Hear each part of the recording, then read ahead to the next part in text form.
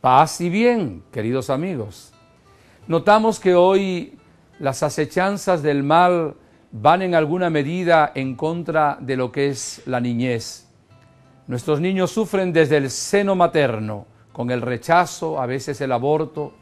Sufren también cuando deben ser bienvenidos a este mundo y por distintas razones no encuentran el ambiente de paz.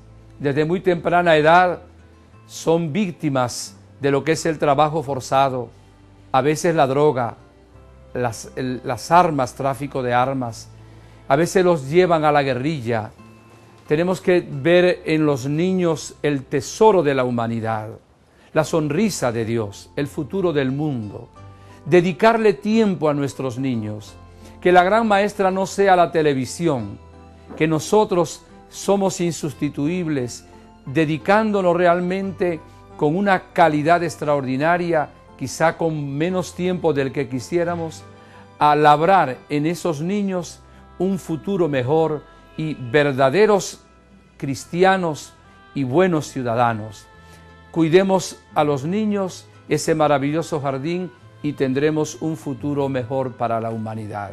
Que Dios bendiga a nuestros niños, que la Virgen los cubra con su manto y que crezcan sanos en el cuerpo equilibrados en la mente y santos en el alma.